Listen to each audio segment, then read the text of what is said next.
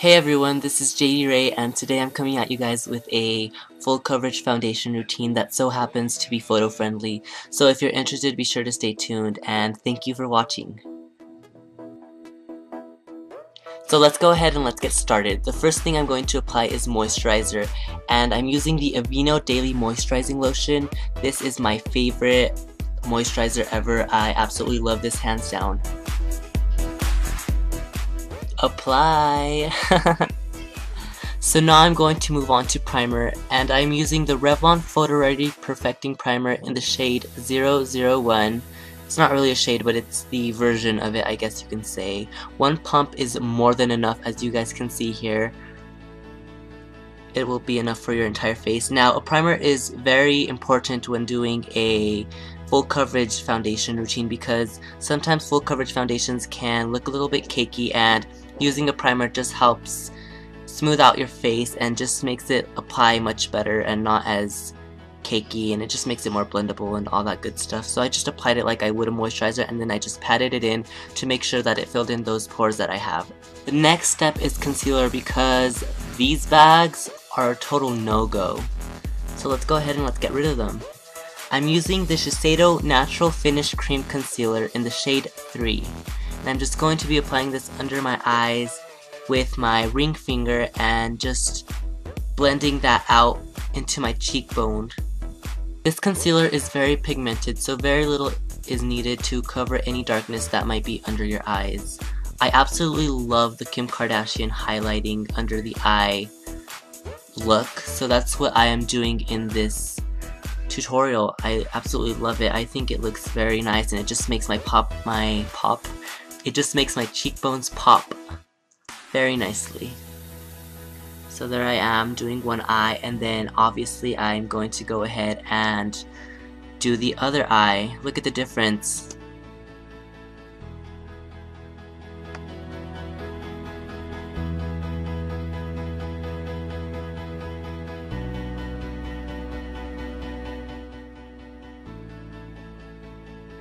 I then take that same concealer and apply it around my nose where pretty much everyone has at least a little bit of redness just to reduce that.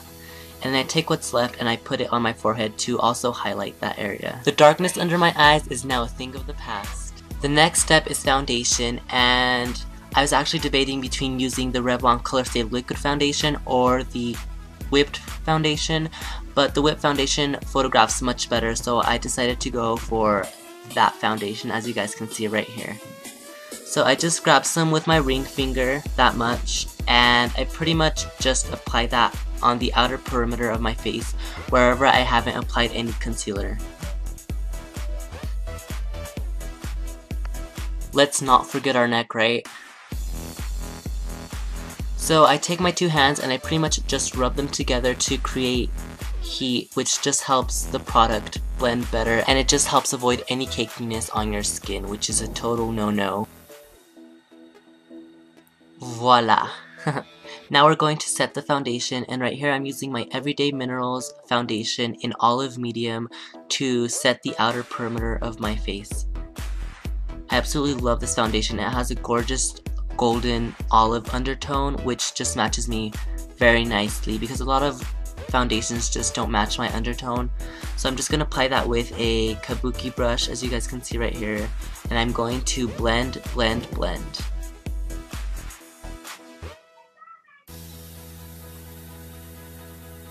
Take some more and put some on my forehead.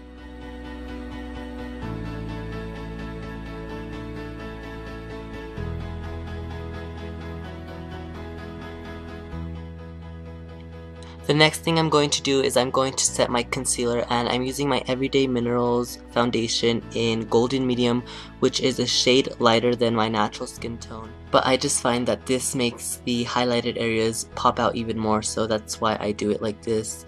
This is completely optional of course.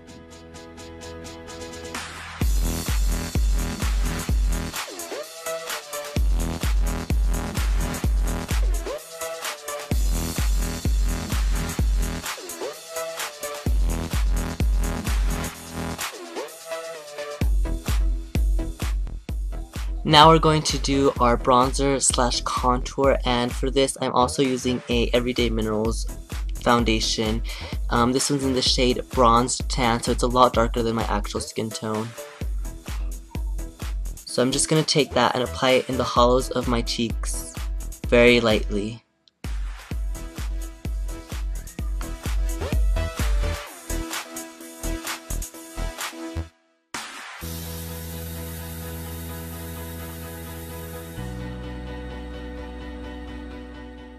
Now I'm doing the other side. Just keep swimming, just keep swimming.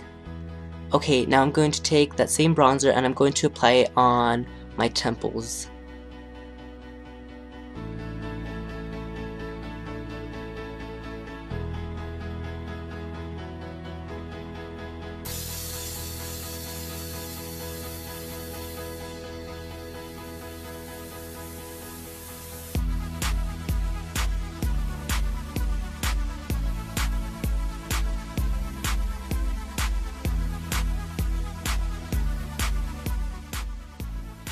Now I'm going to add a pop of color to my cheeks with some blush.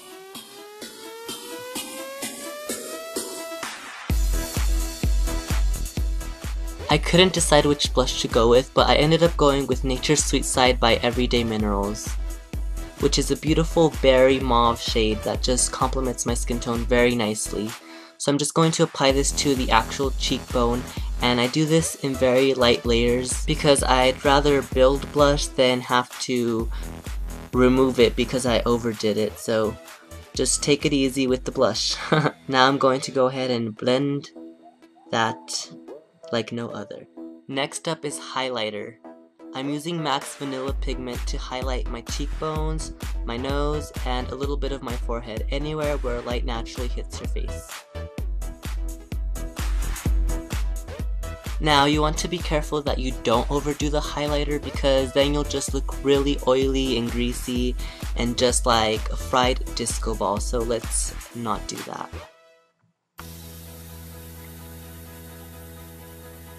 Okay, is it weird that I actually smelled the powder to see if it smelled like vanilla?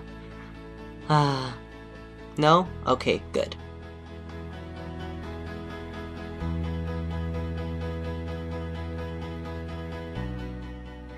As you guys can see, this highlighter just adds a really nice, healthy glow back to the skin that the powder may have taken away.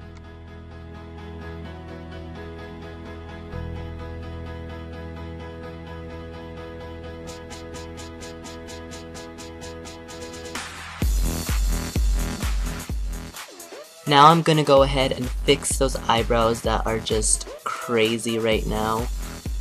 I use MAC's Mystery eyeshadow and a bit of Lancome's It List eyeshadow. I mix the two just because the Mystery is still a bit too light for me and the It List is too dark so I just mix the two. Um, I take one swipe of the It List from Lancome and two swipes of the Mystery eyeshadow from MAC to just get my custom color which works amazingly for me.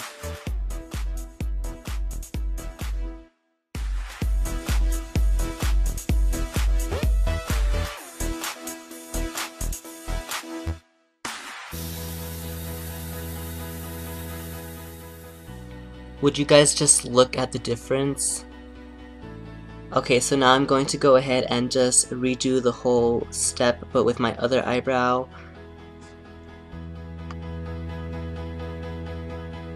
And this is actually my thinner eyebrow, so I usually take longer on this specific eyebrow because I actually got like a pimple on it a few days ago, and the eyebrows just like fell off because of the pimple, which really pissed me off, but whatever. They'll grow back, I hope. So now I'm actually going to take my concealer and apply that under my eyebrow to just highlight the area and just define my eyebrows even more.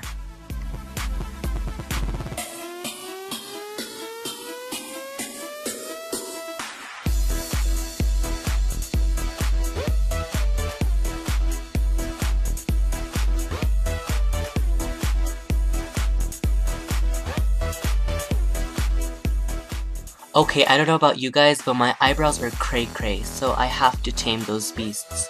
I use the MAC Brow Gel, which is clear, and I just run that over my eyebrows to keep them in check because they seem to have a mind of their own and they just want to go everywhere and that just doesn't work around here.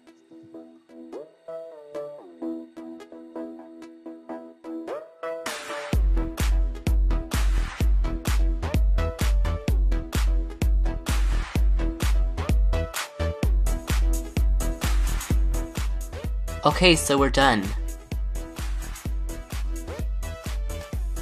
Wait, I forgot to put on chapstick.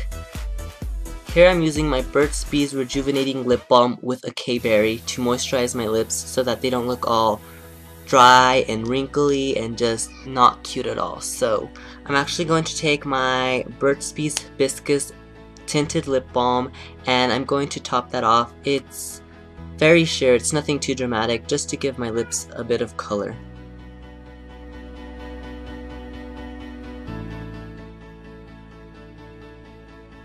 Okay, so that's pretty much it. We're done. This is my full coverage foundation routine. I hope you guys liked it. So this is it guys. Bye. I'll see you guys next time in my next tutorial. Thanks for watching. Don't forget to comment, like, and subscribe. And don't forget, stay flawless.